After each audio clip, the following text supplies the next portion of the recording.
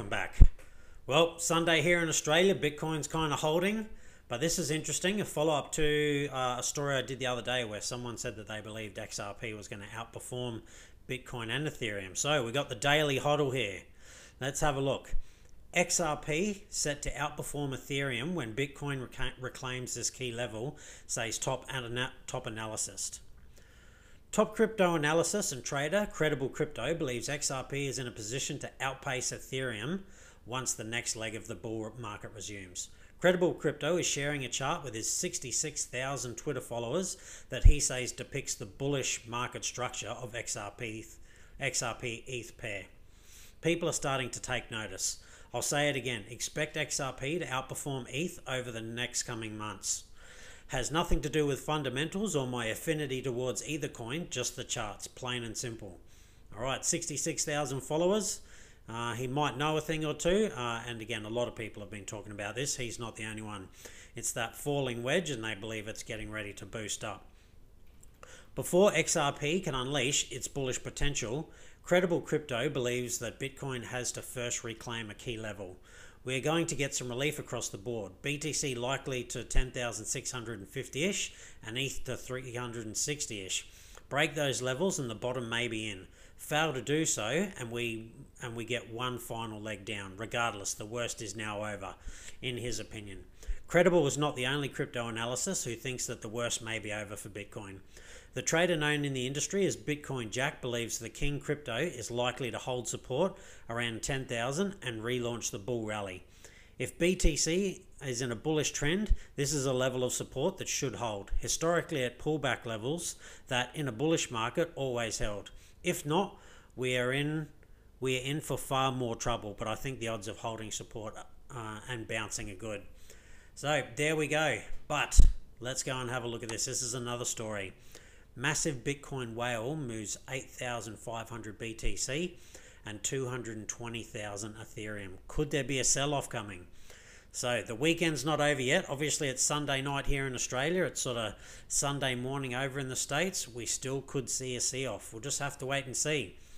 Bitcoin uh, broke 10,500 a little bit earlier today, and I tweeted that out. Tweeted that out saying, you know, Bitcoin's broken 10.5, uh, but will it hold? And at the moment, it's not. It's just under 10.5.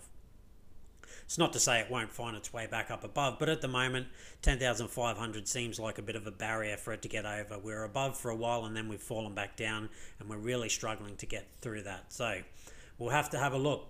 Another really interesting story I had I found look, I'm huge, I'm very very bullish on DeFi, but not anything in DeFi.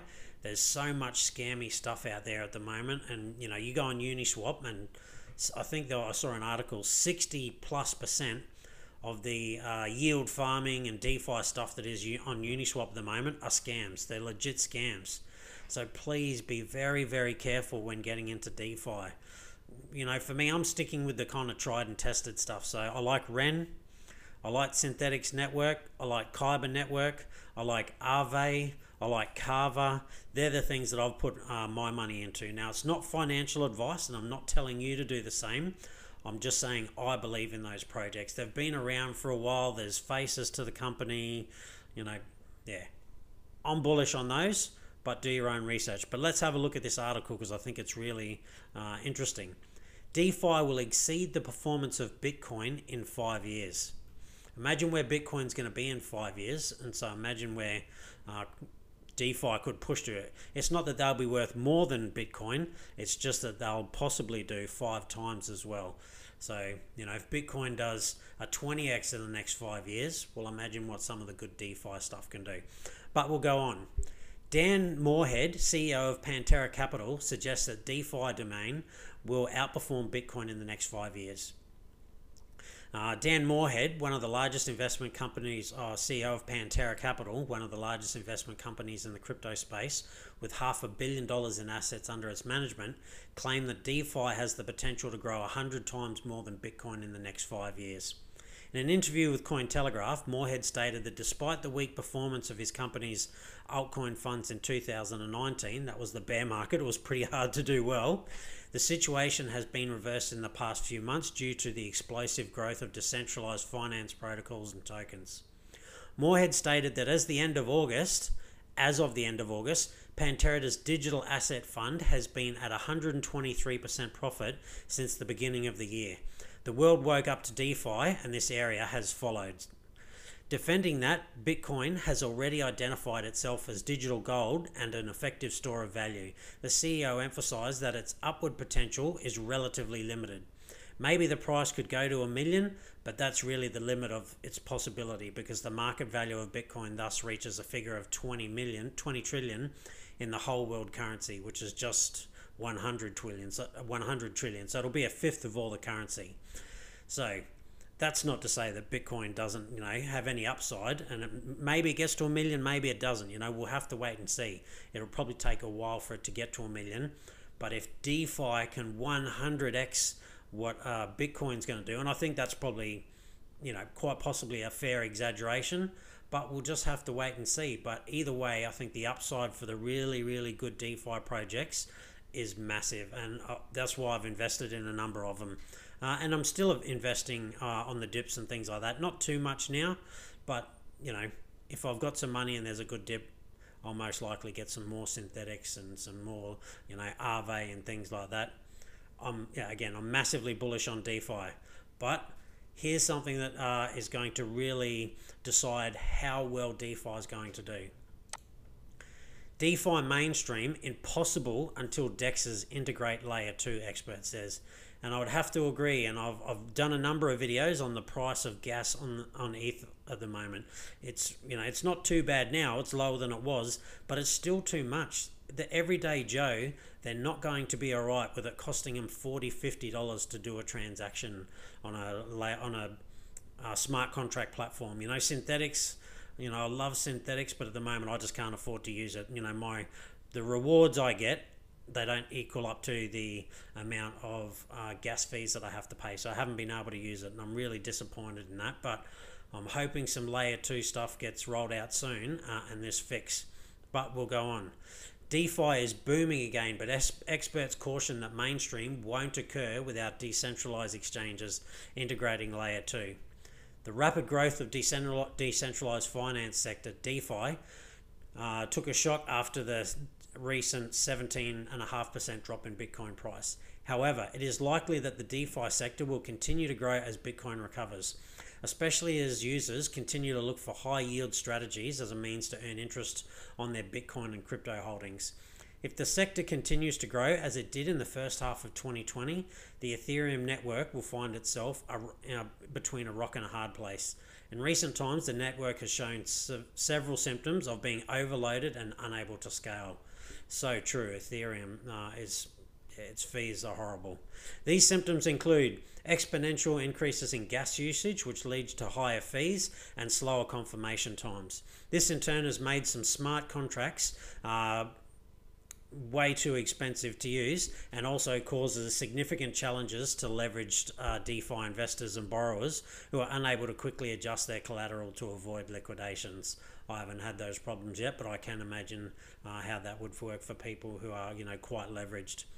Clearly, there is a need for viable solutions that can help sustain the growth of DeFi. The nascent sector is undoubtedly one of the most promising uh, facets of decentralized blockchain technology and is certainly the biggest use case for Ethereum blockchain at the time. So much so that Uniswap is the biggest Uniswap is the biggest gas guzzler on the network on the network, followed by Tether, according to on-chain data uh, resource ETH Gas Station. In order to scale the network and ensure its long term success, the Ethereum development team has been working on Ethereum 2.0, which would bring a completely new version of Ethereum to reality, turning it into a proof of stake network with multiple side chains that can simultaneously uh, work to improve transactions through uh, transaction throughput and scalability. Look, at first, from everything that I've read, Ethereum 2.0 is more about just the staking. So there's a ton of uh, layer two solutions out there at the moment. They just haven't been adopted, uh, you know, by wallets uh, and things like that. And you know, I read an article a while ago that Synthetix was looking at rolling out a layer two solution, not waiting for ETH 2.0. And I can only hope that that happens really, really soon because, again, you know, I do think DeFi is going to be massive in the future, unbelievably massive you know, whether it's any of the ones that I've put my money into, you know, we'll have to wait and see. But that space is huge, absolutely huge. But this is, yes, definitely what's going to hold it back. So last but not least, let's have a quick look at the market. So 350 billion. So it just it just keeps growing at the moment, which is good. We're still not up near that 400 billion where we were, excuse me, a couple of weeks ago, but we're slowly getting there.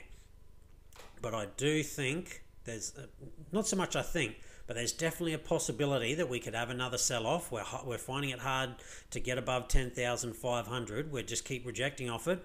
We might have a leg down, go down into the 9,000s before we come back up again. Let's have a quick look at the Bitcoin chart and we'll see.